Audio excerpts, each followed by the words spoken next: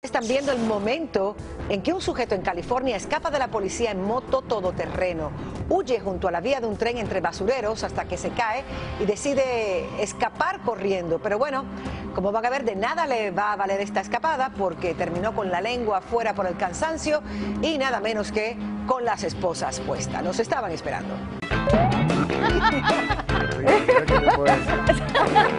Yo nunca le he llevado flores a una mujer. ¡Ah!